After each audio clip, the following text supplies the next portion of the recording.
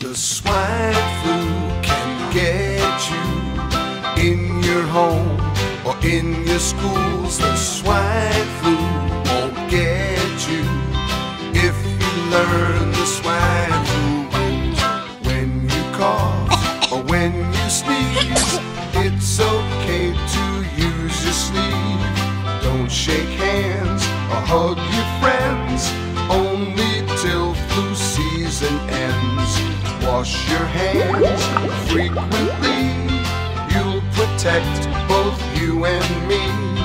When you're sick, stay home, please.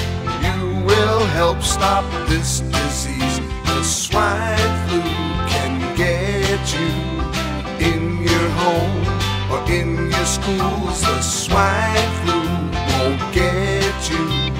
Now you know the swine